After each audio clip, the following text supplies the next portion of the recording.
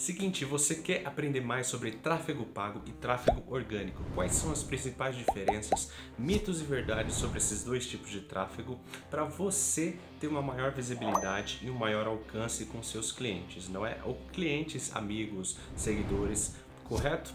Então você está no vídeo certo. Não sai daí que eu vou te mostrar tudo passo a passo, bem detalhado do, das principais diferenças entre esses dois tipos de tráfego, orgânico e pago. Então vamos começar com o tráfego orgânico. O que podemos caracterizar como tráfego orgânico? Nada mais é do que pessoas entrando no link de pessoas. Por exemplo, você criou o seu Instagram, certo? O Instagram, ele tem um site, você vai lá, pega o seu link e divulga o link do seu Instagram para o seu amiguinho. Toda essa etapa entre você ir lá, criar o seu Instagram, pegar o seu link, copiar, colar, é, enviar para o seu colega, para o seu colega entrar no link do seu Instagram e aí sim começar a te seguir, nós chamamos de tráfego orgânico, ou seja, não há nenhum processo automatizado entre a pessoa que envia e a pessoa que recebe. Isso é basicamente o princípio do tráfego orgânico. Muitas pessoas acreditam que não dá para conseguir seguidores, não dá para crescer é, um canal no YouTube, sua conta no Instagram, TikTok e tudo mais com tráfego orgânico. Isso é uma mentira, não é verdade. Se você se dedicar muito, você consegue ter uma boa visibilidade. A maioria das pessoas que nós conhecemos, você, eu, todo mundo que usa Instagram, as pessoas do mais famoso ao cara que só tem um seguidor em Instagram e tudo mais, só tem um inscrito em YouTube e tudo mais, todos nós fazemos uma, um mix de tráfego orgânico e podemos fazer também o tráfego pago. É, não é só porque você vai usar um que isso te impede de usar o outro. Você pode conciliar esses dois e ter um mix, que é o que muitos dos artistas, muitas das pessoas famosas fazem.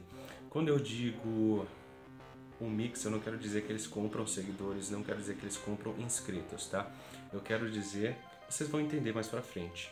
É, eles usam o tráfego pago para aumentar sua visibilidade. Tráfego pago não é compra de seguidores, não é compra de inscritos. É importante muito importante, aliás, você saber disso, você ter isso na sua cabeça.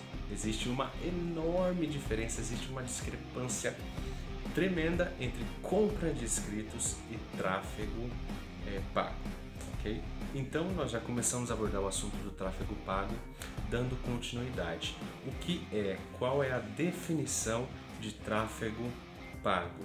Vamos dar um exemplo aqui. Vai, é, o Joãozinho criou um Instagram tal? Eu gosto de usar Instagram porque é um dos aplicativos mais usados e todo mundo, a maioria das pessoas pelo menos que assistem é, o YouTube conhece, ok? O Joãozinho criou um Instagram, não sei, no primeiro vídeo do canal eu falei do bolo de pote, ok? O Joãozinho começou a vender bolo de pote. Ele criou um Instagram para isso. A loja de bolos dele chama João Bolos, ok? Então, o que o João vai fazer para divulgar a João Bolos? Ele vai entrar em contato com uma empresa e essa empresa oferece para eles, para o João. É, por exemplo, você quer ter quantas visitas na sua página? Você quer que quantas pessoas entrem na sua página para conhecer, para ver o seu produto? Ele fala, ah, eu quero mais ou menos duas mil pessoas na minha página. Então a empresa vai lá e fala para o João, tá? É, então eu vou fazer a divulgação da página João Bolos. Vai te custar por duas mil visitas, eu vou te cobrar 60 reais. E esses dois fecham, ok? E o que acontece? Acontece que assim que a empresa fecha com João, ela já faz o anúncio e João começa a ter visitas na página João Bolos. Ele usa Instagram Business, então por isso ele consegue ver todos os dados de quantas pessoas acessaram, quando acessaram, quem é essa pessoa, e quais os interesses dessa pessoa, ok? Então isso é basicamente um tráfego pago. Você pagou para uma empresa ou para alguém, para essa empresa ou essa pessoa te gerar tráfego, gerar é, gerar tráfego na sua página, gerar, fazer com que pessoas peguem o seu link, acessem o seu link e conheçam o seu produto. Tráfego pago garante vendas? Não. Tráfego pago garante visibilidade? Não. Além de ter um tráfego pago, de contratar é, alguém para fazer um tráfego pago, o ideal seria que você ter um bom produto, ok? Vai, quando eu digo produto, eu não quero dizer que tenha que ser um produto físico, tá? Você não precisa de um produto físico para realizar uma venda. E qual é que é o maior benefício do tráfego pago? Aliás, os dois maiores benefícios são dois. O primeiro é que maior alcance, ou seja, como eu usei o exemplo do João Bolos, a página dele, João Bolos. É, ele pagou para uma empresa 60 reais para duas mil visitas na página dele, para dois mil cliques no link dele, ou seja, duas mil pessoas entraram, acessaram a página do João Bolos.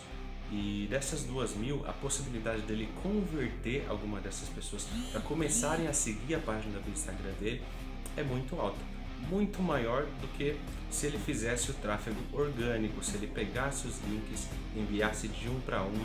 Muita gente faz isso. Você provavelmente já deve ter recebido mensagem na sua DM do Instagram de pessoas: ah, eu faço uma página tal, eu, eu é, faço colares, não sei o que, é, me ajuda aí a, a, expandir minha página, expandir meu negócio, não sei o que, acessa meu Instagram, me segue lá e tudo mais. Isso pode ser chato algumas vezes. Muitas pessoas consideram isso como spam. Então, a probabilidade de você converter essa pessoa diminui. Então, visto isso, deu para perceber né, que a vantagem de um tráfego pago é enorme, é gigante, gigantesca.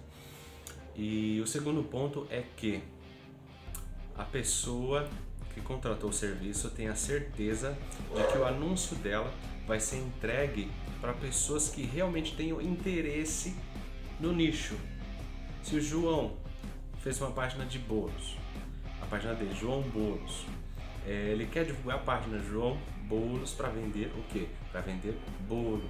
Então, automaticamente, então a pessoa ou a empresa que foi contratada para fazer esse fluxo de tráfego pago, ela vai fazer literalmente um funil, um filtro. Ela vai filtrando e vai chegar no seu público-alvo específico. Eu vou deixar a imagem aqui, a fotinha aqui do filtro, é, para exemplificar melhor. Mas é, é como se dentre todas as pessoas ele eliminasse aos poucos as que não têm interesse na área Nesse caso, as que não têm interesse em comprar bolos, as que não pesquisam nada sobre bolos, é como se ele eliminasse todas as, essas pessoas e focasse e fizesse o anúncio ir direto para aquelas pessoas que têm a maior possibilidade de comprar o bolo do João. E é exatamente por isso que a possibilidade dele de converter uma dessas pessoas que foram conheceram a página dele pelo tráfego pago é extremamente, é muito maior do que no tráfego orgânico, onde você faz tudo manualmente, pessoa por pessoa, mensagem por mensagem e assim vai. E um bônus para você que ficou até o final. Vamos desmistificar o porquê do WhatsApp, Facebook, Instagram, todas essas redes sociais, todos os serviços que você usa no celular, muitos deles são gratuitos. É justamente o tráfego pago que custeia é, esses serviços. Você não precisa pagar com dinheiro real, mas você está pagando com suas informações. Eles têm acesso a minhas informações, ele tem acesso às suas informações e nós estamos pagando esses aplicativos justamente com nossas informações, porque o que eles fazem é vender anúncios, vender para a empresa, justamente o tráfego pago. Quando você está é, usando o seu Facebook ali, está rolando para baixo, aqueles anúncios que você que você vê, os anúncios que aparecem, são justamente o que pagam a gratuidade dos seus serviços. Então espero que tenha dado para entender a diferença entre tráfego orgânico e tráfego pago. Eu sei que foi muita informação condensada num curto período de tempo, mas você vai pegando mais o jeito conforme nós vamos postando mais vídeos aqui no canal, nós vamos conversando mais, ok? Por favor, eu vou pedir que você se inscreva.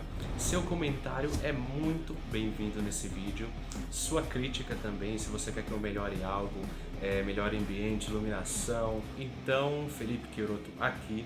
Obrigado e até a próxima.